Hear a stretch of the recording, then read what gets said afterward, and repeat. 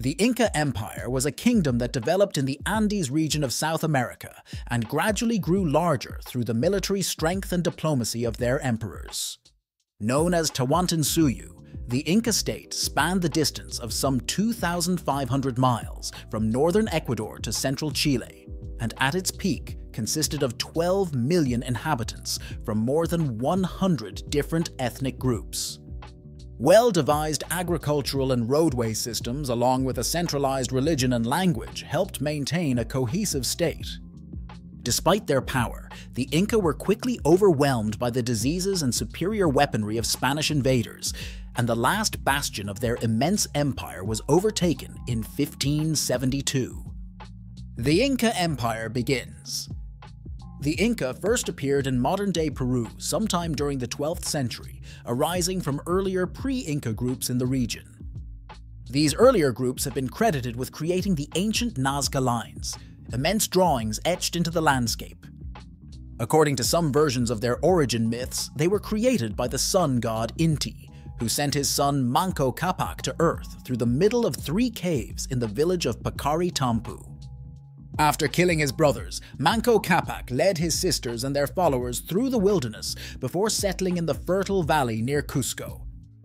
The Inca began expanding their landholdings by the reign of their fourth emperor Mayta Capac.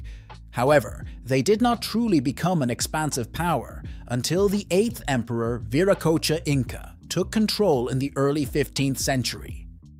Bolstered by the military capabilities of two uncles, Viracocha Inca defeated the Ayarmaca kingdom to the south and took over the Urubamba Valley.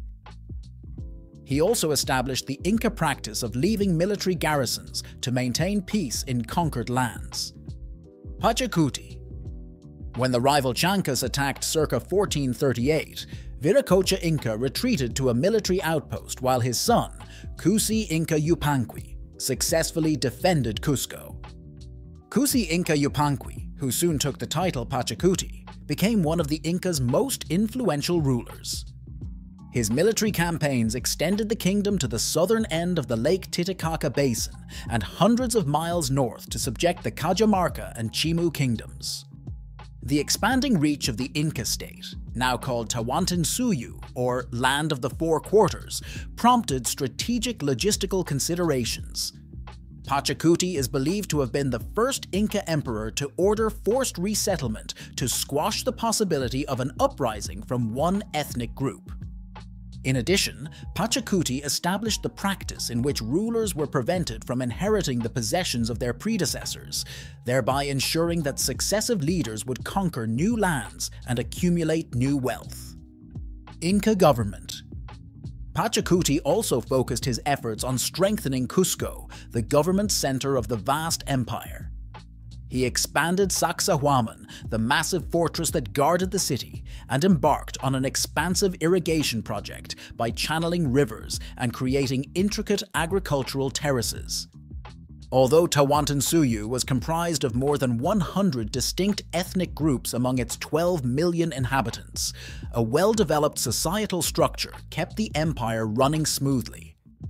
Most Inca subjects were self-sufficient farmers who tended to corn, potatoes, squash, llamas, alpacas, and dogs, and paid taxes through public labor.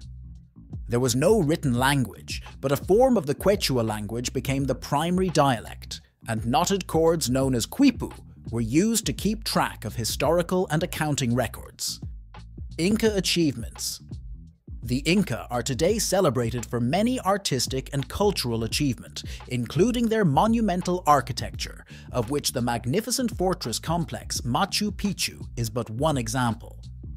The Inca also developed sophisticated calendars, elaborate textiles, functional and decorative ceramics, surgical techniques, productive terrace agriculture, and the use of coca leaves as medicine and in religious ceremonies.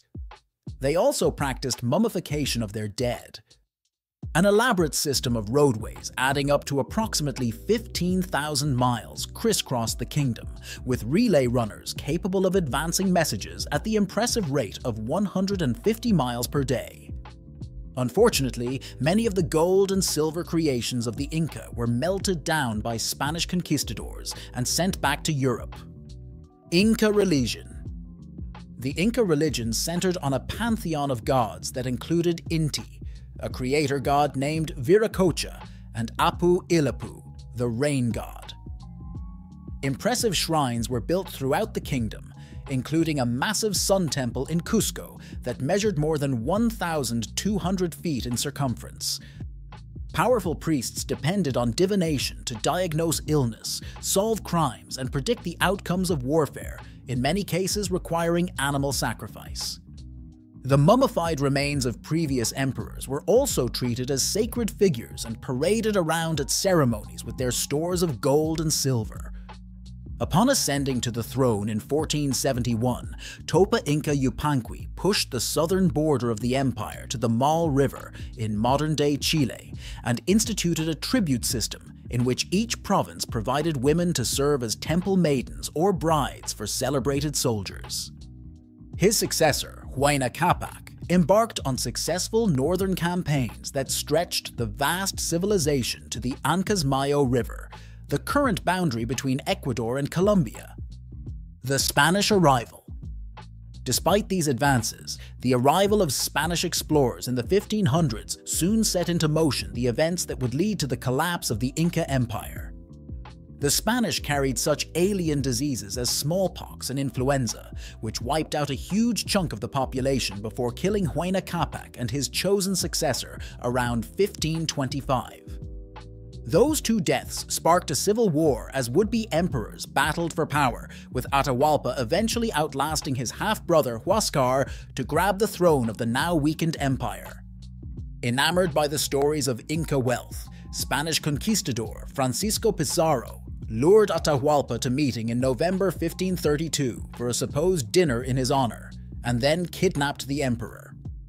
Atahualpa was executed the following summer, and although the Spanish were far outnumbered by the locals, they easily sacked Cusco in late 1533 with their superior weaponry. Attempting to keep the peace, the Spanish installed a young prince named Manco as a puppet king, a move that backfired during a spirited rebellion in 1536.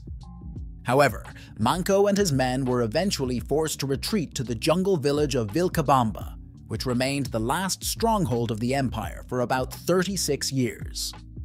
Eventually, however, the Spaniards took control of Vilcabamba in 1572, when the last remaining Inca ruler, Manco's son Tupac Amaru, was captured and executed, bringing the Inca Empire to an end.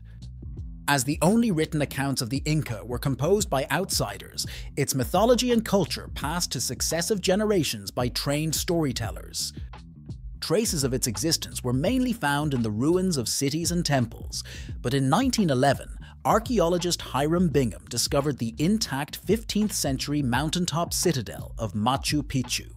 Its magnificent stone structures reflecting the power and capabilities of this proud and powerful pre-Columbian civilization. What do you think about the Incas? Would you like to live in that era? Share your thoughts in the comments section. If you liked the video, make sure to subscribe for more content like this. See you in the next one.